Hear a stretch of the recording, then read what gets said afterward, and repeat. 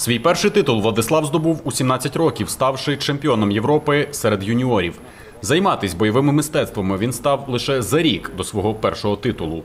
В цей час він вже навчався у військовому ліцеї. Зізнається, завжди мріяв стати десантником. Я вважаю, що справжній чоловік по- повинен захищати себе і своїх близьких, і показувати своє вміння тільки на татамі і відстоювати свою честь на десантно-штурмових військах змаганнях і в житті. Зараз Владислав навчає бойовим мистецтвом курсантів навчального центру та активно виступає на різних змаганнях. Він двократний чемпіон збройних сил, а його нокаут на минулорічних змаганнях став одним із найшвидших за історію чемпіонатів. Ефектним прийомом тоді військовий переміг на третій секунді бою.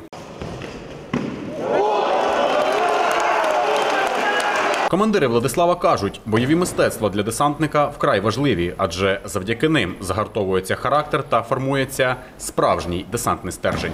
Коли чоловік з чоловіком виступають на татамі, показують удари друг другу, б'ють друг друга, роблять захвати, е, я думаю, що е, коли перед ним зупиняється ворог, він не думати вже не буде. Часу на, цього, це не вистачить. Він буде приймати рішення.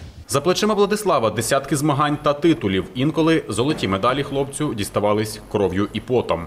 Але такі перемоги через біль лише загартовують. Був бій, коли я потрапив на больовий, і я терпів, але знайшов собі сили вийти і здобути перемогу в фіналі на чемпіонаті України, там, де я здобув майстра спорту. Пройшов через біль, довго, дуже довго терпів, але все-таки вийшов і здобув перемогу. Владислав каже, бойові мистецтва це не лише татам, чемпіонати, кубки або ж медалі. Кожен справжній чоловік повинен вміти постояти за себе на вулиці. Разом із своїм спаринг-партнером показує найпростіший прийом, як знешкодити нападника. Уважаємо, буде підкорити чи ні? Відійди, відійди. Так буде підкорити чи ні?